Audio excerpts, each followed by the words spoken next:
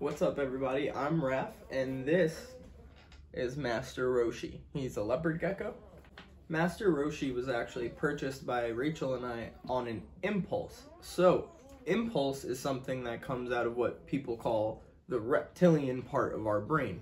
And in this case, our very mammalian prefrontal cortex, or mine at least, was not enough to control that impulse and stop me from getting Master Roshi. This prefrontal cortex is something that reptiles don't have, and it's known to be responsible for things like planning, problem solving, and even personality. So that brings us to the subject of today's video, which is going to be, do these little guys have their own personalities? And uh, to do that, we're going to be doing a, you know, I hate to call it a case study, but that's kind of what it is, of him and his adopted brother, Kami. But before we roll the intro, I'd like to ask you guys to like and subscribe and follow along with our channel and all of our little friends. And uh, yeah, I think it's going to be a good one.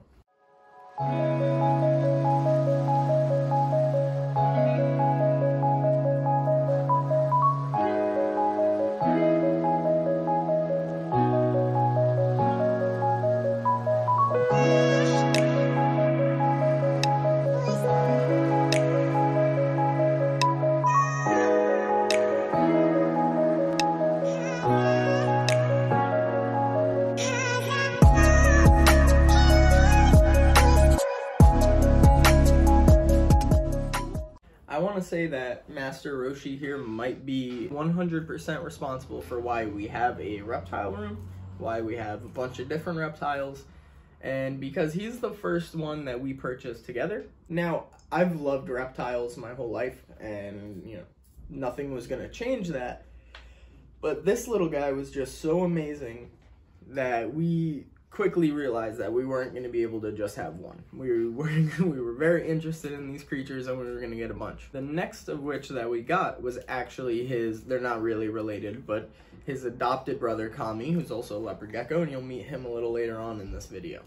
They are two extremely different geckos, and that's kind of what made the idea of this video. So before we get into comparing and contrasting these two directly, uh, we're going to talk a little more about brains.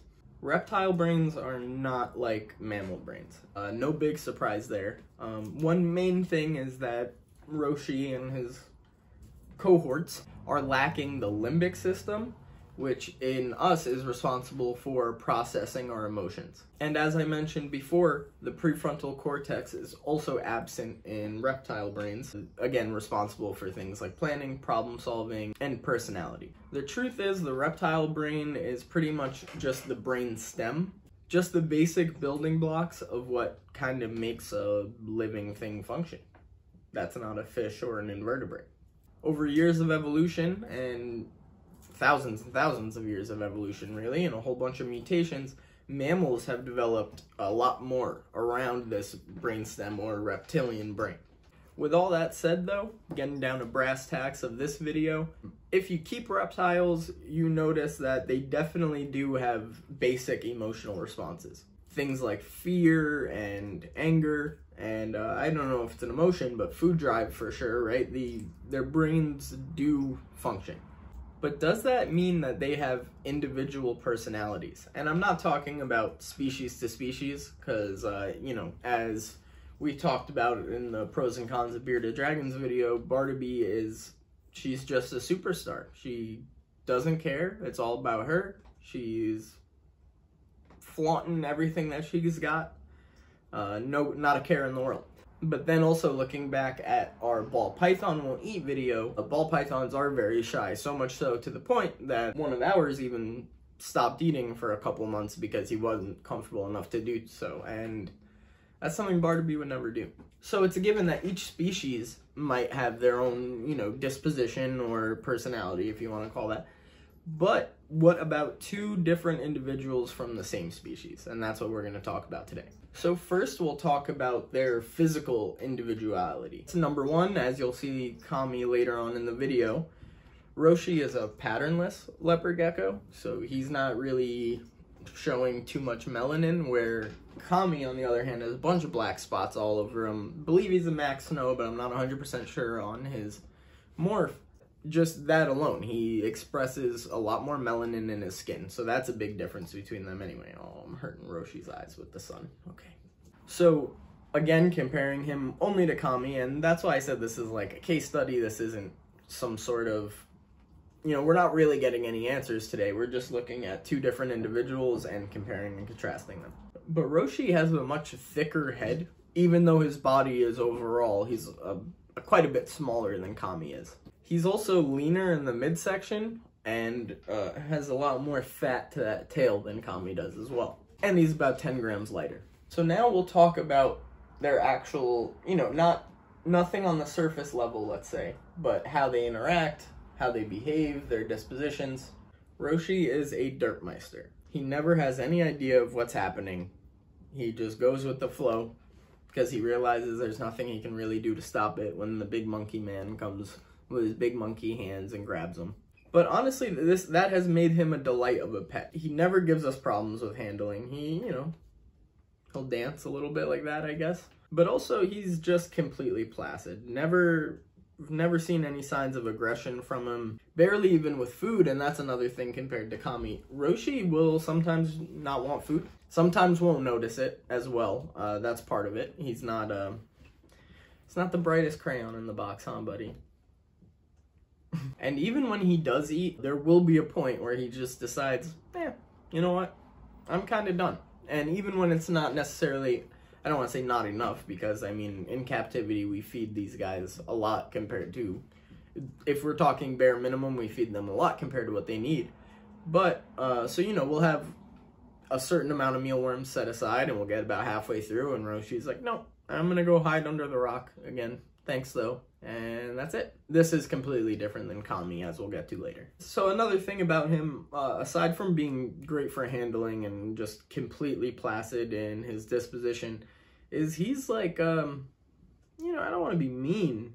He's uh, he's really not so smart. Um, it's not that smart of a species, number one, to be honest with you. But um, I don't think he's a necessarily a very intelligent individual within the species. When we first got him, we gave him a climbing branch because I, I understand leopard geckos are terrestrial, but as you'll hear from a lot of people who keep them with a little bit of height and climbing opportunity, uh, they'll use it. You know, if if they have something to climb on, they'll climb on it. And like I said, Roshi had his climbing branch, and he definitely wanted to use it, and he would use it quite a bit. And then we'd hear a little thud inside his enclosure, and we'd look, and he's on the ground then after being up on the branch. So um, I don't think he ever hurt himself significantly. Uh, they're pretty hardy for the size that they are, and and really what they are. I mean, it's just a little sack of like I don't even know, man. It's in there, man. Yeah, he's not. Basically, I'm gonna I'm gonna wrap up Roshi's portion of this by saying he's not the sharpest tool in the shed. He's not the brightest crayon in the box. Yeah, that's it, buddy, but we love you. Now this is Kami. Of course, Kami is also a leopard gecko, and uh, another thing I didn't mention is they are both males too, so it gives us a, a little more of a control on the study, if we're to keep calling it that. So physical differences, right? Again, like I said, a lot more melanin, which is this black pigmentation. He's closer to what people think of when they hear leopard gecko, because they get that name because of the spots on them, right? Not because they're leopards. But yeah, so Kami is quite a bit longer overall, I'd say. I haven't really measured their length, but Kami definitely just seems a bit longer. His head is also more narrow, but elongated as well. And then you can kind of see where I, what I'm talking about with a a thicker midsection here and a slightly thinner tail. And Kami's about 80 grams. Kami is a good sized male leopard gecko.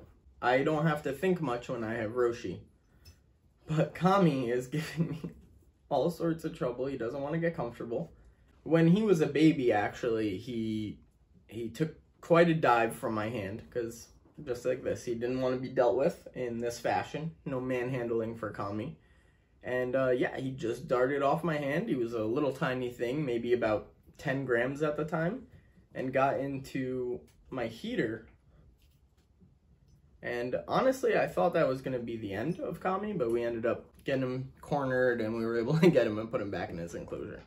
I'm sweating a little bit already because I really don't want him to just go flying. Also, um, I don't know if you've ever seen it, but geckos actually are lizards with vocal cords, and as babies, especially, they like to use them um, to try to scare off potential predators and whatnot. Um, I'll put a clip in and I'll give credit to whoever put the video up because this is a really funny video, but here you go. Um, but, you know, he is great for handling for about 12.6 seconds at a time or so. Um, he's doing pretty well right now. Think he got over the initial why am I out here, why am I not in my house, especially because it's daytime. And I, I keep, um, people argue that leopard geckos are crepuscular, and you know what, maybe, fine. But my leopard geckos are out at night. You know, when it starts getting dark, they come out, they stay out pretty much all night, and then they go back to sleep. So it's a little new for them. It's around, I don't know, maybe around noon right now. So yeah, this is something a little different for them.